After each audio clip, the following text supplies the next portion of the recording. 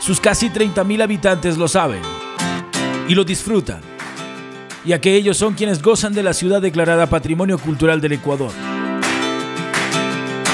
Según el conteo del INPC realizada a comienzos de este siglo, Zig tiene más de 180 casas patrimoniales, con arquitectura republicana que justifica la importancia simbólica y estética para esta declaratoria.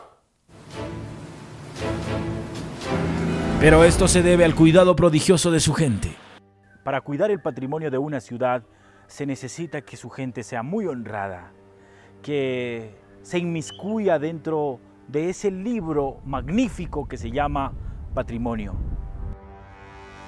La ciudad en dimensión no es grande, tampoco en todas sus calles hay casas antiguas. Más bien da la idea de que el cemento invadió Sixi.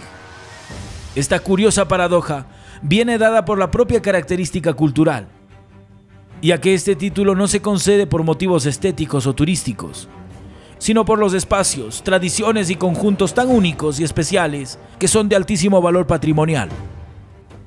Digamos que el patrimonio material de este cantón Azuayo se halla más o menos en seis manzanas. Eh, esa combinación de materiales, hierro, madera, barro, bajereque, eso es formidable.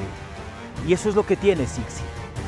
Son casonas con gruesas paredes de adobe, la mayoría de estilo media agua, todas con balcones florales, de tumbados decorados, construcciones de antaño rodeadas de patios y traspatios. Hay unas casitas que están a la esquina del, parque acá.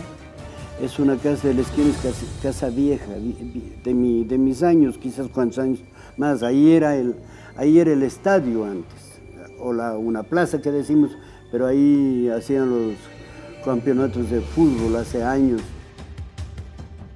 Sixi cuenta también con dos plazas históricas capaces de transportarnos a la época en la que el cacique Duma defendía esta tierra.